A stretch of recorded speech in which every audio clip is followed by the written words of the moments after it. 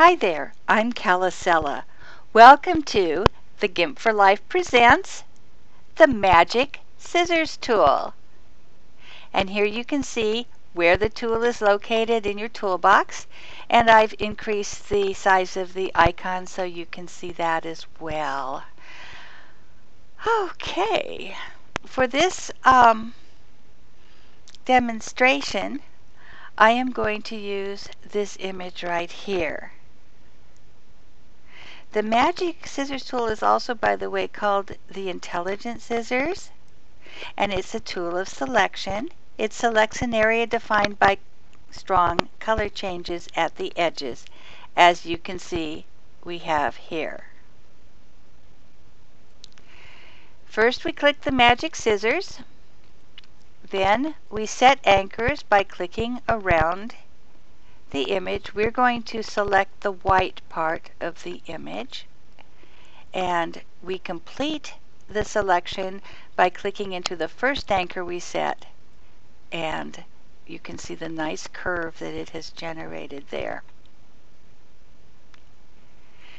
Now we want to click inside the selection to activate the selection. The marching ants show the edge of the selection now. And now we can act upon it. I've got this nice blue color. I'm going to draw lines across.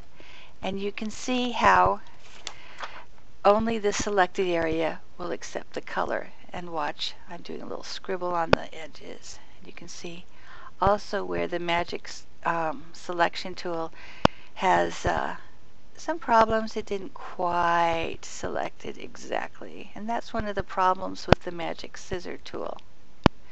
Now, you can also choose invert from the select menu to select the outer area. And so we'll go select, invert. I'm going to change my color here to a nice green. And again, now you can see that everything but that area, the inverse of it, has been selected. And that's how you use the Magic Scissors tool. Yay! Now you know how to use the Magic Scissors tool. Thank you for watching this video. Please drop by my shop in West Haven, The Perfect Gift, in Second Life anytime you want. You can teleport off my profile to visit me, Calla Cela.